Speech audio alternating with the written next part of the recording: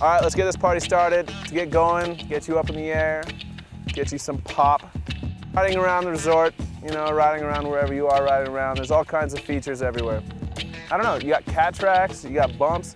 Start on flat ground, you know, get used to hopping, get used to awing, just down slopes.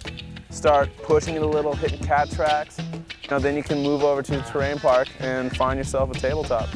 Exactly, and there's usually small to big tabletops and different types of kickers in the park. So it'd be the perfect place to learn. Yeah, and I mean, start off small, you know?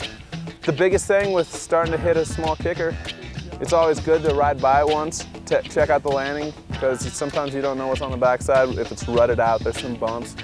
You know, you're looking for something smooth, something that's gonna be friendly.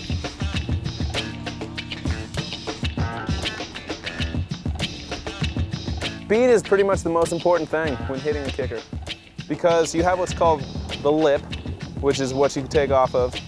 Then there's the knuckle, which is the top of the landing, and you want to land in the landing. Exactly. You don't want to do have anything to do with the knuckle because it hurts. Observe other people riding the park. Usually there's some people out there slaying it, and uh, you know, just watch really look for those people in the park, see where they're starting from to hit the jump and like, and watch what they're doing. It'll help you out so much with the speed because it is tough to figure out speed sometimes. Yeah, for sure. And you know, conditions change and people have not necessarily starting at the same point and uh, different weights affected too. You know, you see 110, you know, pound little dude riding and uh, you know, you just ate Thanksgiving dinner and you're weighing a little 210 or something, which isn't bad. But you know, you're gonna have a little bit more momentum. You're gonna, you know, go a little bit farther when you hit a kicker. So just be aware.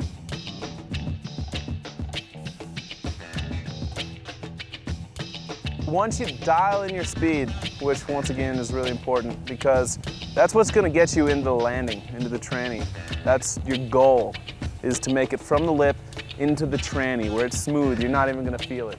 That's, you know, that's right there, that's the joy of cooking on this show. And what do we do? We bend our knees every single time we go into a jump. The athletic stance, we're bent down, we're ready to go. We're ready to ollie off the lip and land in the tranny. Pop or not to pop? Is that even a question? yes. If you want to pop, popping is your friend. Ollieing off the lip, popping off the lip, if you will.